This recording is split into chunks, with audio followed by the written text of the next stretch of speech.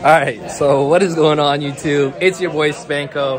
As you guys can see, full house today. We got like 20 something players, 24 I think, 24, 25 players. And uh, I'm vlogging, but I'm vlogging a little bit late. So the reason I didn't start my vlog earlier was because I actually didn't even plan to vlog today. And I'm playing Swordsoul, okay? So let me just give you guys a quick summary of everything that's pretty much gone down so far.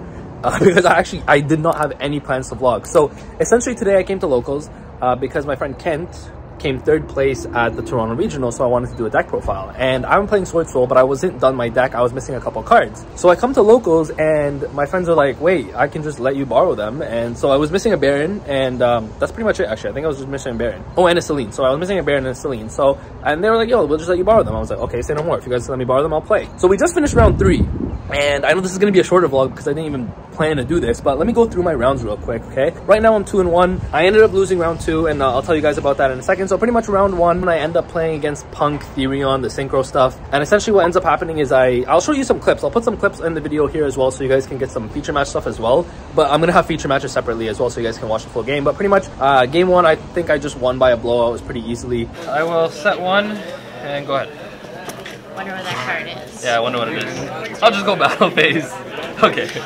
Game two, we both bricked, but I guess he bricked a little bit harder. So I just pushed for Taia a few times, and then I ended up winning that way, right? So we ended up getting a round one against Punk Synchro. And bro, like, let me tell you right now, Swordsoul, this deck is insane. Going first, going second, the deck is nuts. I'm going to do a full deck profile so you guys can see it later, but the deck is nuts, okay? And then against, in round two, we went against Punk Synchro again. However, uh, this time we ended up losing. So what ended up happening was game one, my opponent was going first, right? So I ended up losing the die roll. My opponent was going first. He goes summons the in, and I have a Veiler in my hand. And I'm like, listen, I know his hand is not that great because he had, uh, he pitched a Therion, and I'm like, okay, he has to have another Therion in hand to do anything. So at this point, I'm like, okay, if I just Veiler the Xiamen, he might get a Regulus on the board or whatever, but that's it. Like, he's just ending on that. What ended up happening was he had called by for the Veiler. You're an animal. You're an animal. And that was my only hand trap. So he just made a full board. He literally ended on Therion plus Abyss, like the Red Dragon Archfiend Abyss, plus a Formula Synchron. So after he used Regulus Negate, he made a Baron. And I was like, all right, that's too strong, right? All right, I'll go Emergency. Yep. Thank you, Baron. Game two, I'm going first. Beautiful. I make my board. I start, I start to make my board. He has Ghost Ogre for it. It's okay. It's not the worst thing in the world. I end on the Sinister Longyuan. Is this Sinister? I can't remember which one, but one of the other level 10s that pretty much banishes when he uses monster or spell effects. And I'm like, okay, you know what? I'm not in the worst position in the world. Not a great position, but I'm not in the worst position in the world. And I can't remember what I activated, but he has Gamma. And I was like, oh my god, this guy has to have the gamma. Like, it was so nasty. Oh, Boy, cheer time! Oh, no, Vino, you evolved, finally. You did it.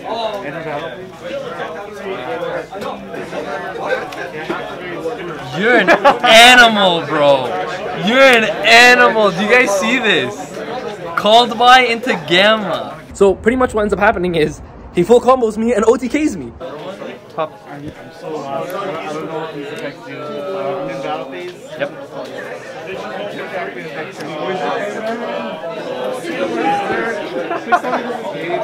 Gamma my sixth card. So I got I lost in two there. That was kind of bad. That was just unlucky. Round three, I ended up playing against uh, Dinomorphia Eldritch, one of those trap decks. Super easy. I actually opened Blackout in game two, set the Blackout. I had the Mo Ye. He flipped Skill Drain because I ended up winning game one. Game one was really easy. I just literally set up my regular board with Blackout. He set two. I popped his two, and I just won. Blackout? Yeah. oh no! Oh no! This two? Yeah. Do you have it? How many cards do you have? One. Yeah, you'll probably have game. Uh, next game, next game. and then, uh, yeah, game two, he ends up flipping skill drain, right? And I was like, okay, so I have a Mo Ye on the board, but he has nothing on his field. So I was like, all right, uh, I'll just Mo Ye attack. And then he goes the trap, the frenzy to special summon the fusion monster, and I just go Ash because it sends from deck to grave, right? So I just go Ash. He's like, okay, so now he just paid 4k of his life points. I go Mo Ye attack, and then next turn I just go Mo Ye attack again and I win.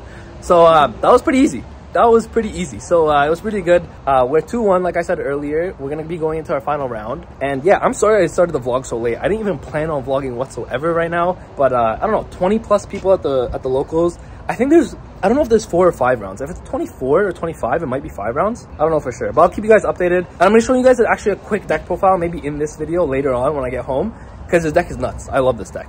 Hey guys, Future Spanko here. I just want to show you guys the deck profile that I was playing at my locals. Now, I'm going to go more in depth in a future deck profile, but just for now, I want to show you guys what I was playing. So, three Mo Ye, of course, three Longyuan, two Taia, and two Ecclesia. I love this card so much. Going second, this card's nuts. And then we're playing three Emergence as well as one Sacred Summit. Funny enough, this actually never came up. I really wanted it to be good. I don't know if I'm going to continue playing this, but in theory, it's really, really good. And then, of course, one Blackout. So that's it for the Swordsoul engine. For the Tenyis, we are playing three Ashuna, three Vishuda, two Adhara, and two Vessel. This is it. I'm not playing Shthana. I'm not playing the Heavenly, the, the Circle, whatever it's called. I think these are perfect. I actually really, really like these ratios a lot. They don't really brick in these ratios. I don't like playing Shthana. Shthana is really good, but it's a brick unless you have Circle, really. But I do really like these ratios. And then for the rest of the deck, there's no more engines. We're just playing hand traps. So three Ash, three Veiler, three DD Crow, and three Imperm. I love this hand trap lineup. Like, I would not change this whatsoever. I really, really liked it. I considered playing Droll in the main, but I DD Crow is just way too good, so I really like this card. Again, I'll go more in depth in the actual deck profile, but DD Crow is even good against stuff like Fairy Tail Snow, and it's also really good against stuff like Token Collector, because essentially, like, if they send their Token Collector, like, a lot of Punk matchups will send it off of their Shooting Riser, so that they can just get it from the graveyard. You can DD Crow it, it's really, really good, obviously really good against the Despia matchup, so I really like this, I would not change this at all. And then the last cards, I just played two Desires, as well as one Called by the Grave. So for the extra deck here, I did say I was borrowing a couple cards, so if you guys see some missing slots, that's that's the reason. But yeah, we're playing two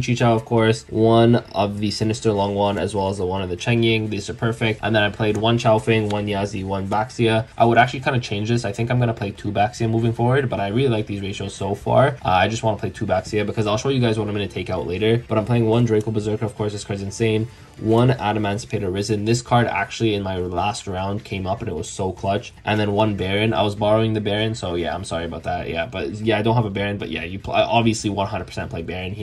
And then the last cards you want to play, and this is a thing that I kind of want to switch out after testing, is I was playing one Hulk, one Selene, and one Access Code. So this was kind of like an OTK combo through something like Dimensional Barrier, because what ends up happening is your Tenyis can essentially go into Hulk, which essentially goes into Selene, which essentially goes into Access Code. And if you guys are wondering what you're sum- summoning off of the Selene, like the spellcaster, you just summon the Veiler off of Hulk, and then that makes you Selene, and then that, that makes you Access Code, right? So this was just kind of an OTK package that I really tried, but I honestly didn't like it. The thing is, Ashuna locks you into worm monsters after you use its effect in the graveyard, so you can't actually even make the Hulk. So I don't know how I feel about this moving on in the future. I, I might keep testing it, but yeah, it came up a couple times at the locals, but it never actually won me a game, funny enough. It just ate a hand trap. Like Hulk literally just ate hand traps every single time, and then I'm playing two Monk, and so the one thing that I want to maybe change is play a second Baxia, play one of the Tenyi Link 2s, because the Tenyi Link 2 gives you an option to go into a Link 2 with your Ashuna once you use it from the graveyard. So maybe, I don't know exactly how I feel about it just yet, but this is what I was playing. And then lastly for the side deck, I was playing 3 Droll Lockbird, 2 Raigeki. This was my spicy card that I really wanted to try because in theory it's actually really good this format. Worst case scenario, it just baits out a negate when you activate it, but this should definitely be Nibiru. I'm going to change these out 100% and play 2 Nibirus here for sure. And then Harpies and 3 Cyclone. This is mandatory, especially with Mystic Mine and all these like back row decks being relevant. So this is really mandatory to play. I don't have Lightning Storms. Maybe you guys can play Lightning Storms instead, but I really like the Cosmic Cyclone. The quick play is really, really good, especially into anti-spell. This can be really, really powerful. Then I'm playing 3D Barrier as well as 3 anti-spell. So these cards are really good. The only thing I think I change is Raigeki for sure into 2 Nibirus. Maybe find a way for a third Nibiru in here. Maybe cut the Harpies, just play 3 Cyclones. Depends, but yeah, I definitely want to play Nibirus here instead.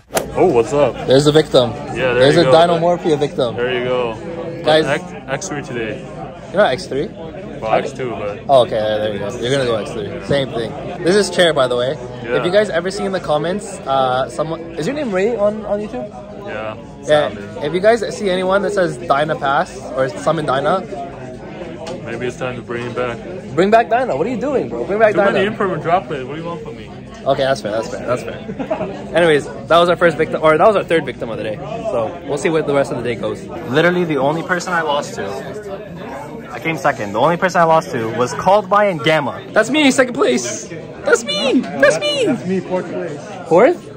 I thought you were supposed to be uh, third place Toronto Regional, and you're coming fourth place. I play live twins. Oh, never mind. You entered today. So, Swordsoul's the best deck. Swordsoul's the best deck. All right, so I know the quality is probably bad. It's dark out. I'm in my car, but we finished the day X1. I ended up coming in second place. It was great. Literally, the one round I lost was kind of unlucky, but otherwise, I think it was really, really good. My last round, I'll give you guys a quick update of my last round. Pretty much what ended up happening on my last round was I was against Punk, Therion, Synchro stuff again. Like that deck is so popular, but the nice thing about Swordsoul is it has such a good matchup. Now I went first. Oh baby, my first turn board is so crazy in that deck. I literally ended on Dragite, Baron, Chixiao with Blackout set. Feeling great, right? Go ahead. They're not going to be playing through that, right? So game one, I got that super easy. Game two, we both bricked so hard. I tr opened triple Ashuna and two Veiler. I want to show the camera this. It's so bad. It's so bad. Opened so bad, I was going second. My sixth card was Longyuan. He ended up bricking as well, which was lucky for me. And so I got to push for some damage. He ended up deburying me, so I couldn't go into my synchro plays, unfortunately. But uh, it was fine. It was okay. And then we ended up winning, so we won that in two. So Punk Synchro or Punk Therion, free matchup for you. Literally, the only reason I lost round two was because Gamma called by is just way too strong, right? Can't do anything about that. But it was against one of my good friends, Rayhan. So honestly, he deserves it. He ended up coming first place anyway, so he deserves it. It was a good, it was a good night actually. This is my first time actually piloting Swordsoul at a local event. So take that in. This is my first time piloting this deck, and I think it went pretty well. So I'm happy with the turnout. I'm happy with the day. 24, 25 people, whatever it was. I ended up coming second place. Can't complain. Thank you guys all for watching. I appreciate every single one of you. Make sure you guys are subscribed to the channel and like the video if you guys did enjoy. More vlog content coming soon. I know this one was unexpected, but uh, yeah, more vlog content is coming soon. All right. Thank you guys all for watching. Spanko signing out. Peace.